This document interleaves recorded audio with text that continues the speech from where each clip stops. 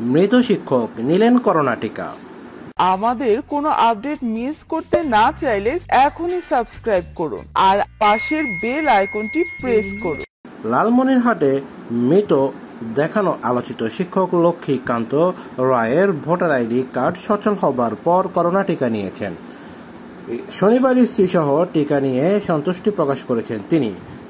প্রসঙ্গত ফেব্রুয়ারি মাসের শেষ সপ্তাহে করোনা টিকা দেওয়ার রেজিস্ট্রেশন করতে গিয়ে বিপাকে পড়েন ওই স্কুল শিক্ষক।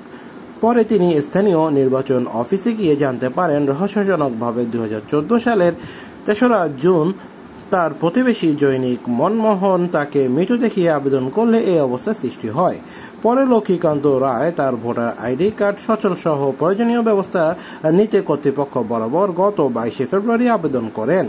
পরে চৌঠা মার্চ সচল হওয়ার পর তার কার্ডটি সে ফিরে পায় এবং তিনি এখন করোনা টিকা নিয়ে সুস্থ রয়েছেন। তো ভিউয়ার্স আপনাদের কি মতামতের বিষয়টি নিয়ে অবশ্যই আমাদের কমেন্ট বক্সে কমেন্ট করতে ভুলবেন না। এবং নিত্য নতুন এরকম আরও খবর পেতে আমাদের চ্যানেলটি সাবস্ক্রাইব করে আমাদের সাথেই থাকবেন। ধন্যবাদ সবাইকে।